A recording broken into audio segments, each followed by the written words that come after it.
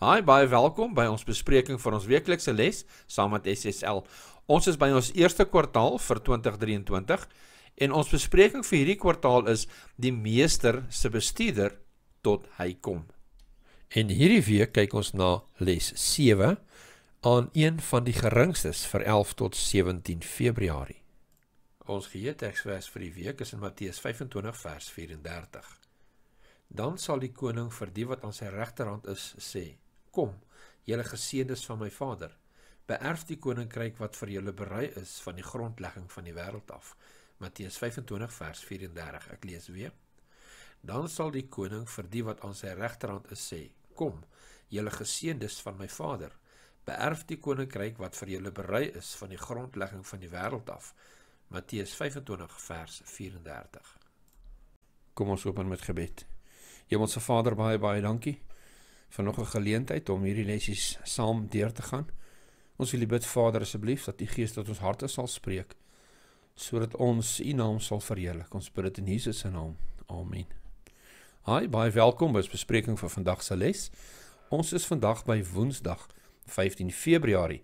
En ons gaan 'n bietjie kyk na Saggees. Nou Saggees was 'n ryk man gewees.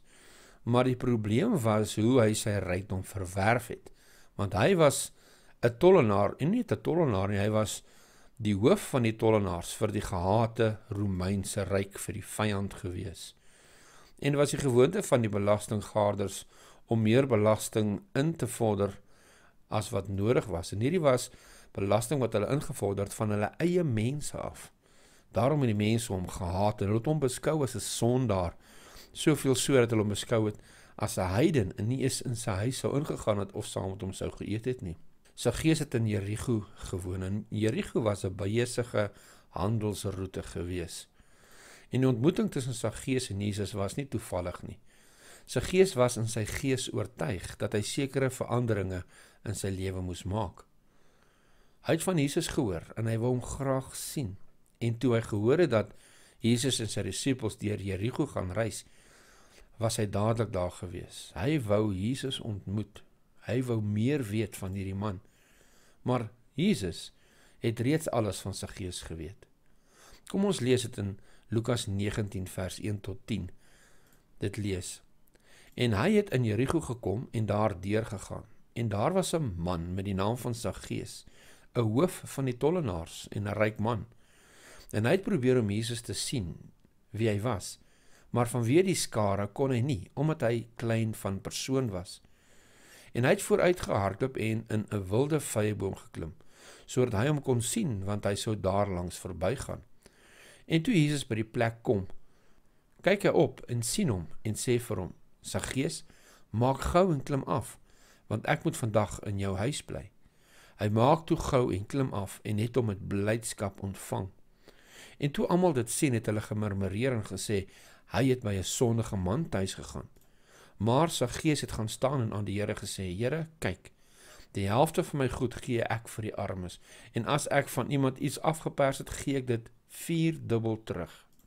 Toe sê Jesus aan hom: "Vandag het daar redding vir hierdie huis gekom, aangesien hierdie man ook 'n seun van Abraham is, want die seun van die mens het gekom om te soek en te red wat verlore was." Nou gister het ons gekyk na die ryk jong owerste. En dan vra die vraag, hoe het hierdie ryk man se gees en die ryk jong owerste van gister se les se ondervinding met Jesus van mekaar verskil? Want daar's dinge wat dieselfde is tussen sy gees en hierdie ryk jong owerste van gister se les. Hulle was albei ryk geweest. Hulle albei wou Jesus gesien het en hulle albei wou die ewige lewe bekom, maar dit is basies waar die ooreenkomste stop. Toe sy gees gesê het dat hy die helfte van sy goed aan die armes sou gee, het Jesus hierdie gebaar aanvaar as 'n ware bekeringsondervinding. Maar vir die ryk jong owerste het Jesus nie dieselfde gesê nie. Jesus het nie ook vir sy gees soos wat hy vir die ryk jong owerste gesê het, nee nee, jy moet alles gee nie. Dit is alles of niks nie. Jesus was tevrede met hierdie aanbod van die helfte net die helfte en nie alles nie. Waarom? Heel moontlik omdat sy gees nie 'n afgod van sy rykdom gemaak nie, soos wat die geval was met die ryk jong owerste. Nou ons weet nie wat Jesus alles vir hom gesê het nie, maar ons weet wel dat sy gees eers gesê het dat hy geld aan die armes wou gee. In teenstelling daarmee moes Jesus vir die ryk jong owerste spesifiek gesê het om alles weg te gee want Jesus het geweet anders sou hierdie rykdom hom vernietig. En soos enige ander persoon moes sy gees teen die gevare van rykdom gewaak het. Maar dit wil voorkom dat hy dit beter kon hanteer as die ryk owerste. Hier is 'n aanhaling uit Koning van die Eeue, bladsy 555 wat ek graag vir julle wil lees. En dan sluit ek ook hiermee af. Dit sê: Toe die ryk jong man van Jesus af weggestap het, was die disippels verbaas oor hul meester se woorde. Hoe swaar is dit vir die wat op hulle goed vertrou om in die koninkryk van God in te gaan? Hulle het teenoor mekaar gesê: Wie kan dan gered word? Nou het hulle 'n demonstrasie van die waarde van Christus se woorde gesien. Die dinge wat by mense onmoontlik is, is by God moontlik.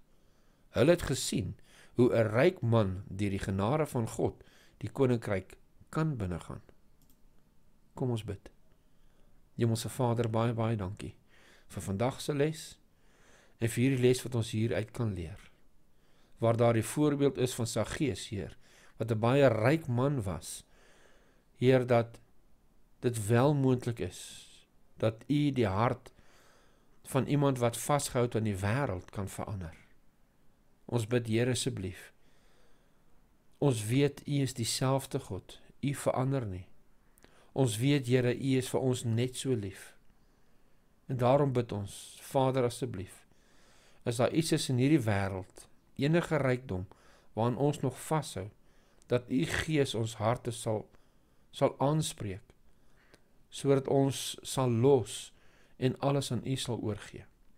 Hemelse Vader, ons is hopeloos sonder U, want die eie ek, Here, word net te groot sonder ons, Here. Help ons om aan U vas te klou. Help ons, Here, asseblief om ons belegging in U en U koninkryk te maak wat vir ewig sal bestaan. Ons bid dit asseblief in Jesus se naam. Amen. Daar sê baie dankie julle sal ons ingeskakel het vir vandag se les. Tot volgende keer. God se ryke seën.